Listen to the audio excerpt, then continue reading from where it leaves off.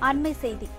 இந்தியாவில் தற்போது பயன்பாட்டில் உள்ள கோவாக்சின் தடுப்பூசிக்கு உலக சுகாதார அமைப்பு ஒப்புதல் வழங்கியுள்ளதாக தகவல் வெளியாகியுள்ளது. அண்மை செய்தியாக பார்த்துக் கொண்டிருக்கிறோம். இந்தியாவில் தற்போது அவசர கால பயன்பாட்டிற்கான கோவாக்சின் தடுப்பூசிக்கு உலக சுகாதார அமைப்பானது ஒப்புதல் அளித்துள்ளது. அண்மை செய்தியாக நாம் பார்த்துக் கொண்டிருக்கிறோம்.